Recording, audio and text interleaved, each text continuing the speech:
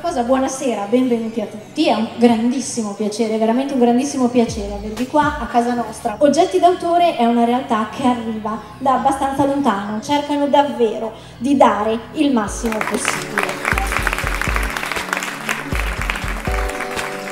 Per curiosità, quanti non architetti ci sono stasera? Diciamo che seguiamo due settori principali. Dunque, uno è quello della ricerca all'interno dell'università, nello specifico quella di Cesena. Questo tetto che doveva essere infilato all'interno di un, di un volume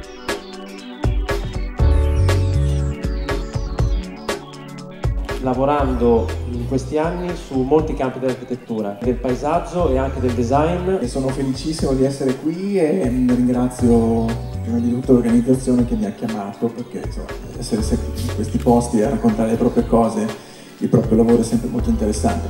C'è una specie di grande giardino eh, in cui gli alberi erano, stati, erano tutti lì perché erano stati piantati per la nascita ognuno di un, di un bambino. Poi ho cominciato a sviluppare una specie di interesse verso le storie che stanno dietro, dietro i lavori. Un po' come quando si getta uno sguardo su una facciata di finestre, sono in realtà contenitori di storie, no? di vicende, di biografie.